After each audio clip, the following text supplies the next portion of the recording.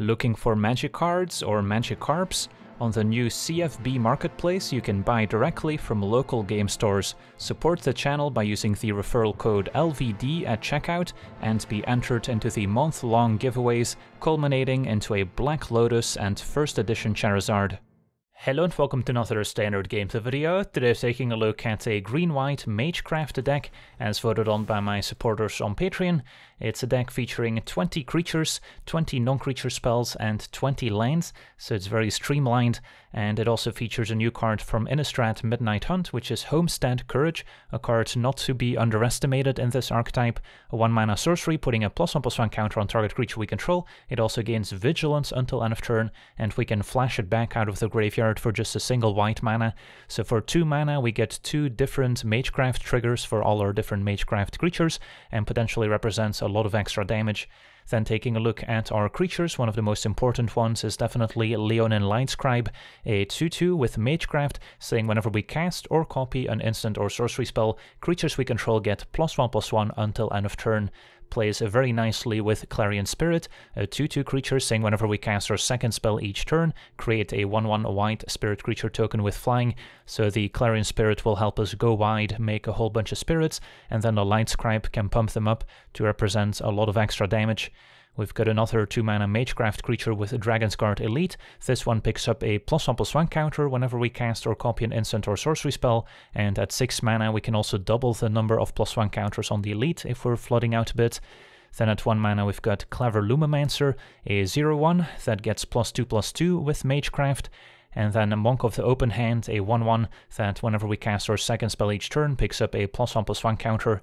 And of course, given that we have a very low curve, lots of 1-drops, it's easy for our deck to double spell in the same turn and trigger cards like Monk, as well as Clarion Spirit, and that's also where the Homestead Courage will come in handy. And then topping off our creature curve is Mavinda, Student's Advocate, a 2-3 legendary bird advisor with flying, and once each turn we can activate Mavinda's ability, letting us cast an instant or sorcery spell from our graveyard that targets one of our creatures, otherwise we have to pay 8 additional mana, and then that card will be exiled afterwards after casting it. So Mavinda potentially lets us replay various pump spells and fight spells from our graveyard, and that also helps us potentially double spell and trigger Magecraft in the late game. Then taking a look at our non-creature spells, of course we've got a full playset of Homestead Courage, then Blizzard Brawl is the removal spell in the deck, supported by 16 snow-covered basic lands in the mana base. This can give one of our creatures plus 1 plus so and indestructible and fight an opposing creature if we control 3 or more snow lands. Then Charge Through is a 1 mana instant, giving one of our creatures trample and draws a card. Very useful if we can make a large creature with our various Magecraft triggers, especially Clever Lumimancer, can often get quite large. Then we also have the full playset of Snakeskin Veil as a way to protect one of our key creatures by putting a plus one counter on it and giving it hexproof until end of turn. Of course, we can also just use it as a pump spell to get extra Magecraft triggers if we're attacking for lethal, but for the most part want to keep up that one green mana if you're expecting spot removal from the opponent and then two copies of Wild Shape as an extra way to potentially protect one of our creatures by turning our creature into a 1-3 turtle with hexproof. All additional bonuses like the various Magecraft triggers or plus one counters will apply on top of that, so it won't usually shrink down our creature in size and then we can also turn it into a 1-5 creature with reach to potentially block a flyer, or a 3-3 elephant with trample, and that trample is another way to potentially get in for extra damage. And then at 2 mana we've got two copies of Show of Confidence, an instant that when we cast it we get to copy it for each other instant and sorcery spell we've cast this turn, and we can choose new targets for the copies, putting a plus 1 plus 1 counter on target creature, and it gains Vigilance until end of turn. So Show of Confidence is awesome, as it also will help us trigger Magecraft with all those separate copies, so a great finisher if we can cast one or two other instants or sorceries before it, as that will potentially represent a lot of damage. And then our mana base, as we mentioned, 9 snow-covered plains, 7 snow-covered forests, and 4 of the green-white pathway for additional mana fixing. So that's our deck, now let's jump into some games and see how the deck does. Alright, we're on the play with a keepable hand. A nice mix of creatures, lands, and spells. Mavinda's not the best combo with Homestead Courage, since it already has Flashback, but of course Courage is great without Mavinda as well. Right, play Light Scribe, I'll keep playing out snow-covered lands. For a Blizzard Brawl, let's say I draw snow-covered forest, I can cast it with the extra ability. Opponents perhaps mono green. Turn to Florahedron. Alright, and there's my snow-covered forest, so... Yeah, I mean, I don't mind going for Blizzard Brawl here, slow the opponent down. And then we can always cast it with Mavinda second time. So...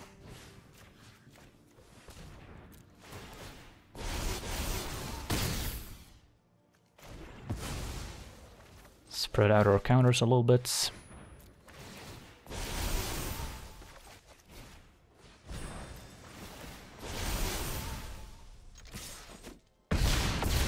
Opponents at 3.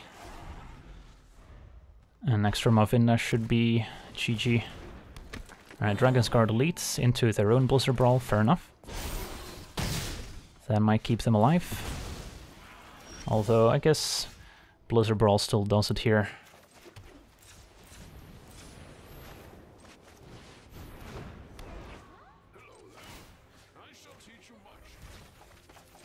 Alright, so quick one here. Sweet, on to the next one.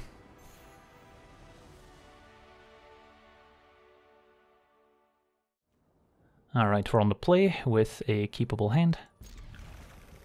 Turn one. Could go Lumimancer first if our plan is to next turn go Monk into, let's say, a charge through. Lumimancer would deal two. I guess the Monk would also deal two. Sure, we can play Monk.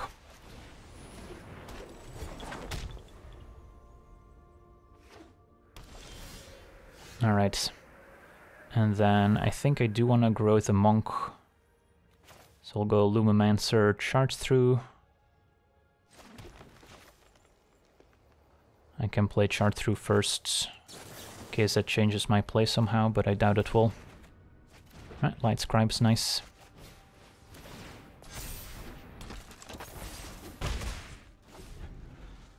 So next turn Light Scribe Homestead Courage is an option. Okay. Could also Light Scribe and Blizzard Brawl, even though we don't have three Snowlands, it's still gonna be enough to take out the Wolf. Which I kinda like.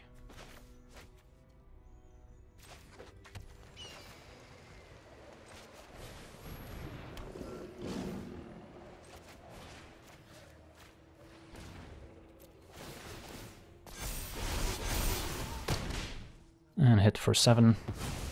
And next turn I could cast three spells to trigger Magecraft, hopefully. Just a tracker from the opponents. And I'm a Mavinda. So... Homestead Courage... Could go for Lumimancer. Could just go Lumimancer twice and then Wild Shape the Lumimancer of the Trumpets. So we can trample over.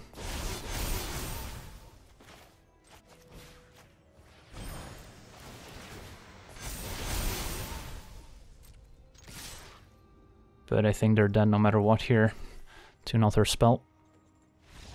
And our opponent scoops it up. Another blazing fast game. On to the next one. Alright, we're on the play with a keepable hand. No one mana creature, but some good twos and uh, a nice mix of lands, creatures, and non-creature spells. And that's kind of the main kind of hindrance that this deck can have is not drawing a good mix of all three categories, which might make it a little bit less consistent than your monocolored aggro decks. So for now, I think I play the Elite, reason being I only have the one green source. So if I want to keep up Snakeskin Veil, it's going to be difficult to play the Elite later. Opponent blue-reds with a Smoldering Egg. Okay. So... I can attack if they block, I Veil to kill the egg. Although I would have liked to have a Clarion Spirit in play beforehand.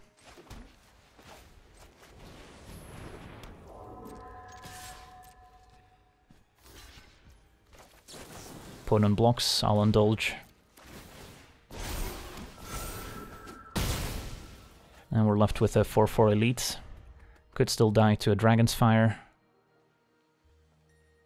And then now we're hoping to draw more cheap non-creature spells to enable Magecraft. Got plenty of creatures already. Going to be a Prismari command, killing Clarion Spirit, that's fine. So do we want to play around a sweeper here? Next turn our opponent could burn down the house, dealing 5 to everything. And um, if I play two creatures here, I'm gonna regret it, so I could just go with another elite and then Show of Confidence can save one of the elites at least. Think that's better.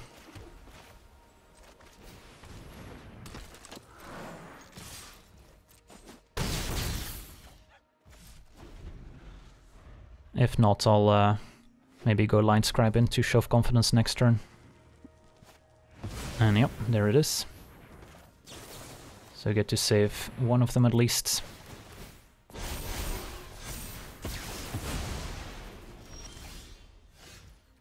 Smash for six. And then hope to pick up some more Magecraft enablers. At 6 toughness, the elites, more difficult for the opponent to remove. Opponent passes with their mana up, maybe they're gonna cast a Memory Deluge just to monk the draw. So attack. I should have maybe even played out my land last turn, because if I get to land 6 I can start doubling the counters on the elite. Another Prismari command kills our Light Scribe. And I'll play the Monk.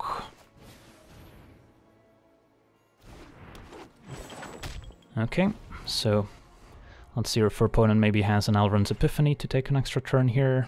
Although they probably would have foretold that last turn. Looks like double Dragon's Fire instead. Elite down. But a Snakeskin Veil gets us very close to lethal. Sadly, would just put the opponent to once. I think I hold it and then maybe go for the next turn.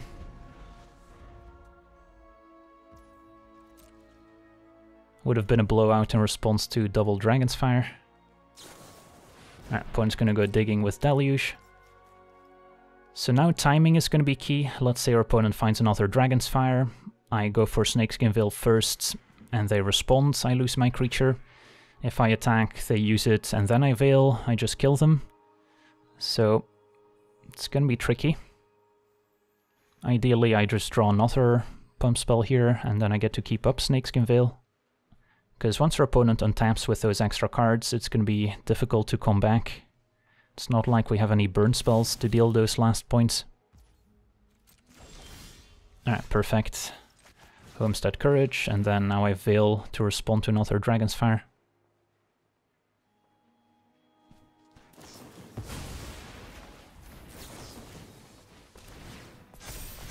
Alright, so close game here played around the 5 damage sweeper best we could, and then got lucky in the final stretch. On to the next one. Alright, we're on the draw. Our hand's not ideal. We only have the one creature. And uh, if that gets removed, we're in trouble. But I don't think I can realistically mulligan either. If I draw a creature, we're fine or if I maybe wait until turn 3 to play Spirit with Veil backup, although that might be too slow. So it's gonna depend on the matchup.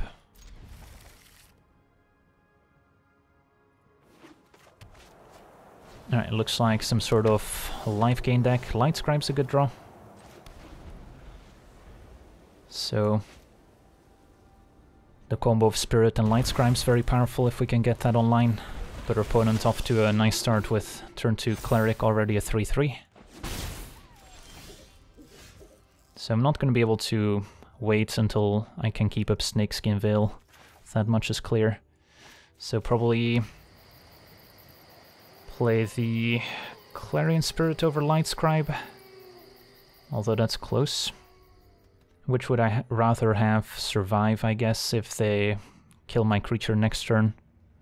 The fact is, I can maybe more easily fight with a Light Scribe with Blizzard Brawl not having three Snowlands, thanks to the Magecraft as opposed to the Spirit, which is just a 2-2. So maybe I play Clarion Spirit first.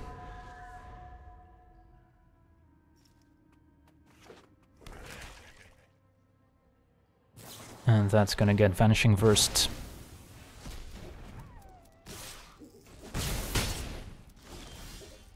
Right, Elites might be a better play than Light Scribe now.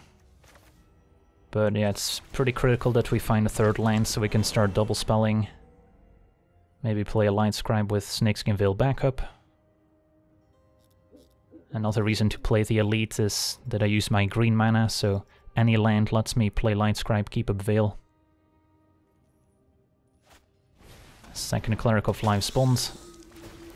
So the opponent's creatures are getting large. We might be able to keep up if we draw land right now.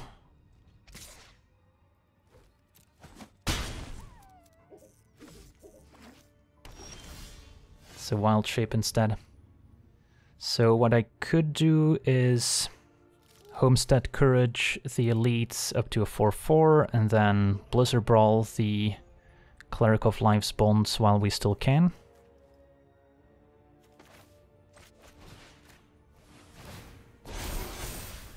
And then I have to decide if I want to kill the bigger tapped one or the untapped one. If I kill the untapped one, I can also attack. So maybe I just kill the slightly smaller one, so I also get to attack.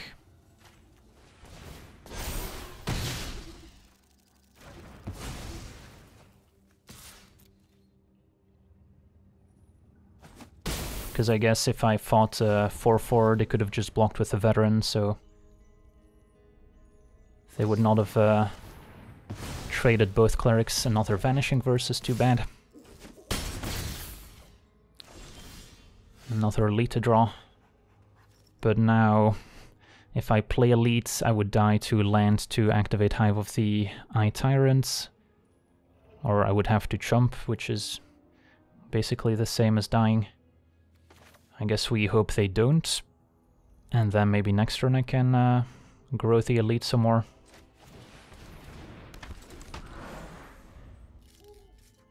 We drew a sufficient amount of creatures eventually. We had the non-creature spells, but got kind of stuck on two lands, which didn't let us deploy our hand in time. So, yeah. Our deck can have very explosive starts, but if it doesn't draw the right mix of ingredients, it's going to fall behind. And this time it's land that was the limiting factor. So I got a jump. But can't imagine surviving here. Alright, can uh, play a monk and pass.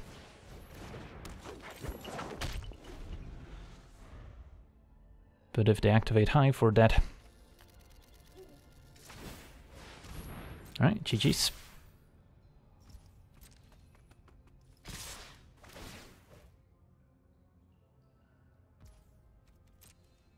On to the next one.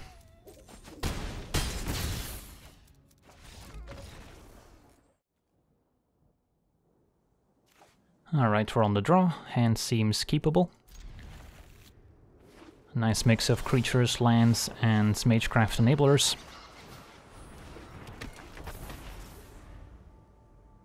Up against the black-whites. Looks like a more controlling build. And a Fateful Absence on Lumimancer, that's aggressive. think I still Clarion Spirit here over Light Scribe. Although if I wait until next turn I could go Clarion Spirit, Charge Through, at least make a 1-1 token in the process.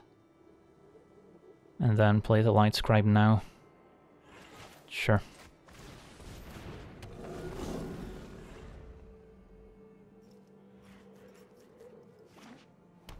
Uh -huh, opponents. Esper colors.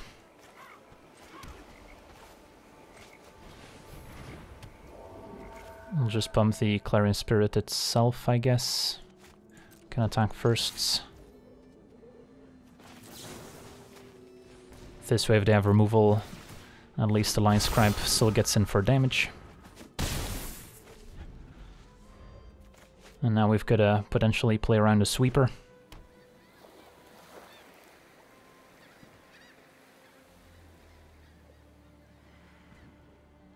Got a nice board presence, show of confidence, also great with Clarion Spirit and Light Scribe. Mavinda could replay Charge Through from the graveyard as well as eventually Show of Confidence. Just gonna make sure we don't run too much into a board wipe. So this turn... What's my play? Opponent foretold a card, could be Counterspell, could be a Doomskar, could be all sorts of things. Maybe I should just crack my clue first, see what I draw. Maybe if I draw like a Homestead Courage, I can cast and flash it back. Another Clarion Spirit. Alright, well, in that case, I think uh, I just attack with what I have. And if they wipe the board, I can go Spirit into another Light Scribe, potentially.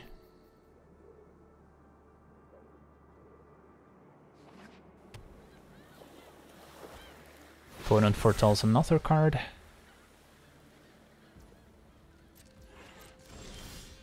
Also gotta watch out for Alrund's Epiphany next turn.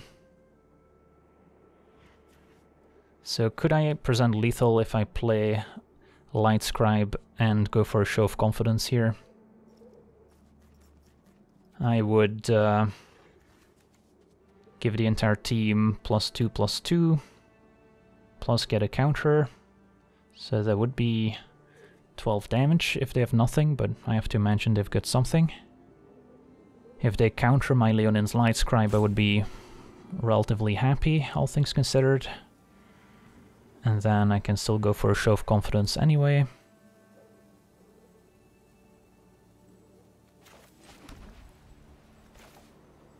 Yeah, might be worth a shot.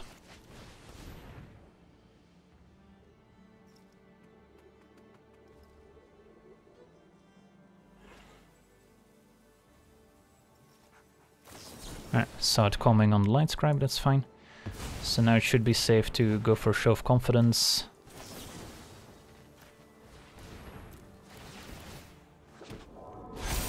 And get a nice chunk of damage in before a potential board wipe, and then I can still repopulate with Clarion Spirit into Mavinda.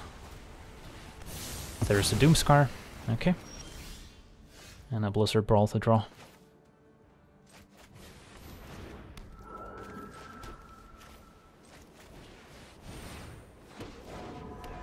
So let's see here. I can still use Mavinda in the opponent's turn as well to just cast the uh, charge through to cantrip if needed. So I don't have to do it now.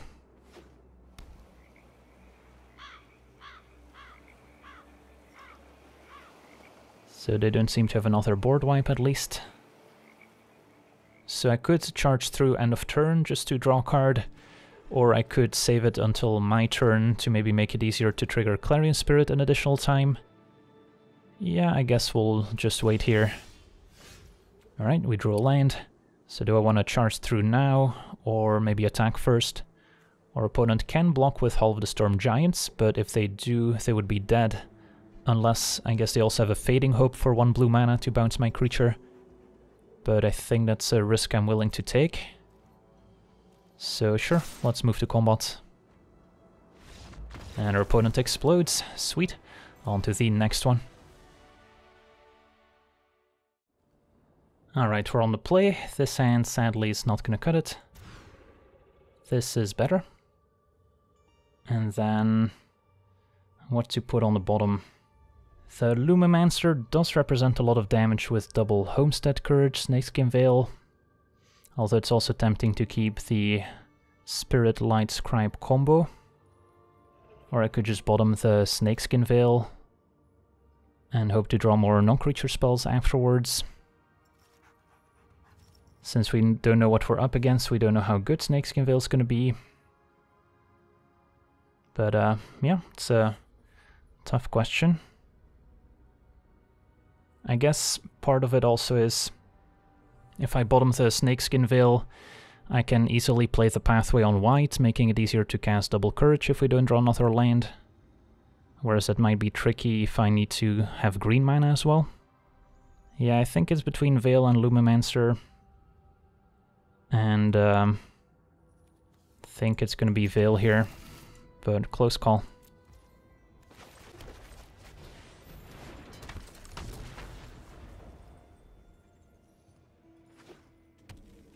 Alright, against mono whites. And picked up a Charge Through, so probably still gonna play pathway on green. And then... I guess I'll attack. Am I happy if they block and I need to Charge Through? There's probably no point in doing so. So Clarion Spirit versus Light Scribe. If they do have a portable hole, which would I rather lose? Probably rather lose the Light Scribe.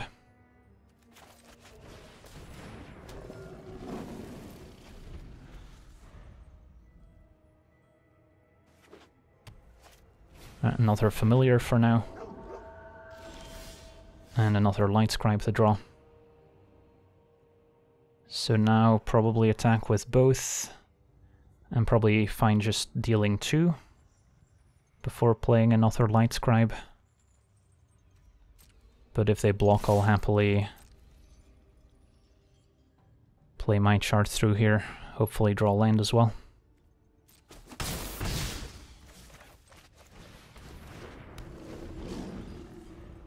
So far Lumimancer hasn't done much, but I also wouldn't have had a great opportunity to keep up Snakeskin Veil.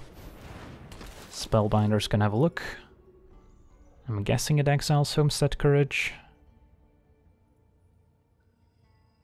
But Clarion Spirit would also be reasonable. Charge Through has the fact going for it that we can play that instant speed as kind of a combo trick, whereas Homestead Courage the opponent will see coming. Spellbinder is also going to grow both familiars here.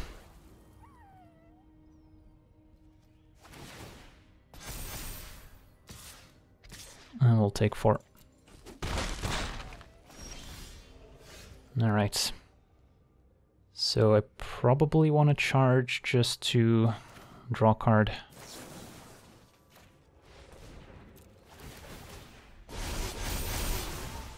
Alright, perfect. And then I could double Homestead Courage.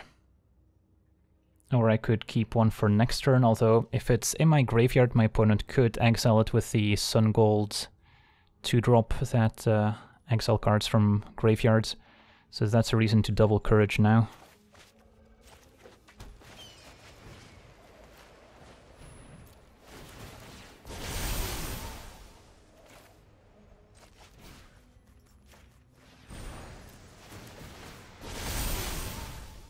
And I guess that leaves my opponent dead on board as well. Alright, sweet. On to the next one.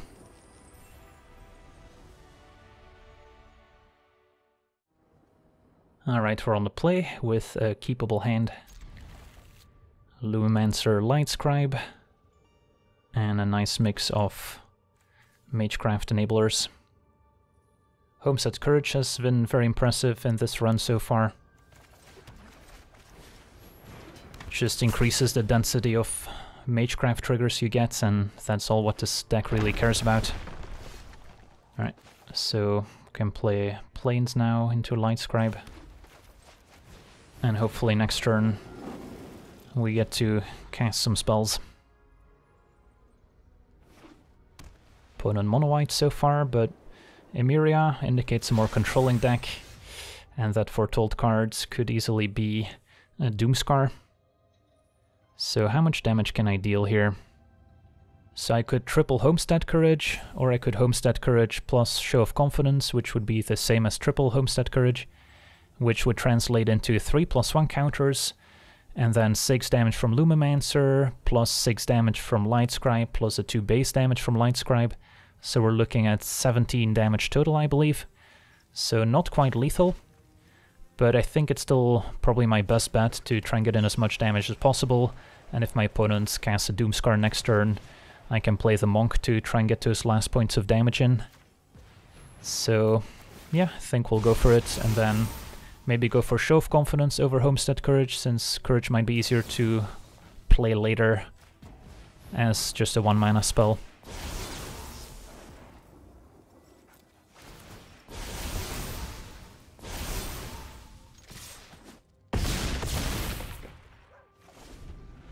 Alright, let's see if they've got the Doomskar. They don't. Oh, that's good news. In that case, they should just be dead here. And the Foretold card uh, saw it coming, not gonna do much here. So yeah, we got to see our green-white Magecraft deck in action, and it's definitely capable of some very explosive starts, probably one of the fastest decks in Standard when its game plan comes together. Now, on the flip side, it can also suffer from inconsistency if it doesn't draw the right mix of lands, creatures, and non-creature spells, as opposed to your typical monocolored aggro deck, which just needs to draw lands and creatures and be fine. But, you know, you do get the reward of some very quick kills, and uh, potentially can even kill the opponent before they can cast their sweeper, which the other monocolor decks aren't really capable of.